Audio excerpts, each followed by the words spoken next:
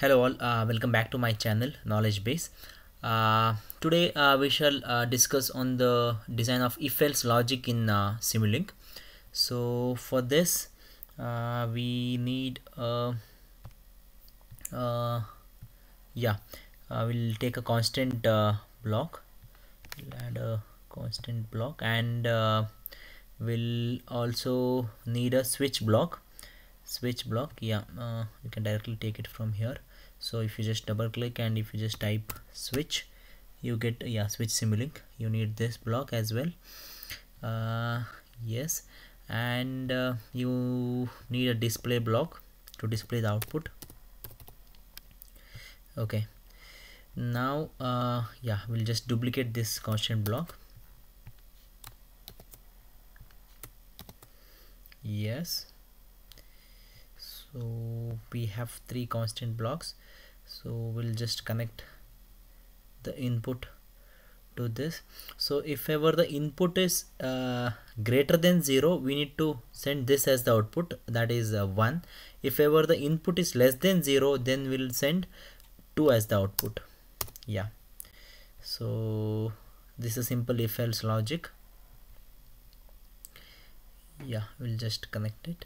So uh, it's very simple. Uh, if you double click on the switch block you have the threshold value here. And also what is the passing criteria?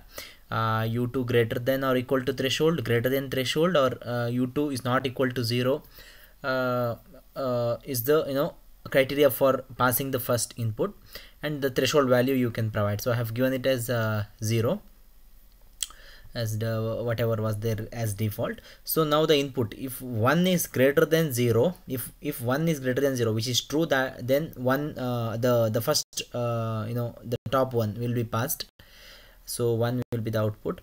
If ever the input whichever is coming right if ever it is less than zero then two will be passed as output. So we'll just run this. Simple uh, one is the uh, we are getting one as the output. Similarly if we just change this uh, say for example we'll change this to uh, uh, yeah we'll change this to minus 1 yeah we'll change this to minus 1 apply okay. And we'll run this. Now we should get 2 as the output. Yes. So this was regarding the simple uh, if else logic in the next video we'll take a real-time uh, uh, vehicle example and you know try to uh, uh, build a if-else uh, logic from there from the vehicle you know real-time inputs. Yeah. Thank you. Thanks for watching the video. If you like this video request you to hit on the thumbs thumbs up button. Yeah thank you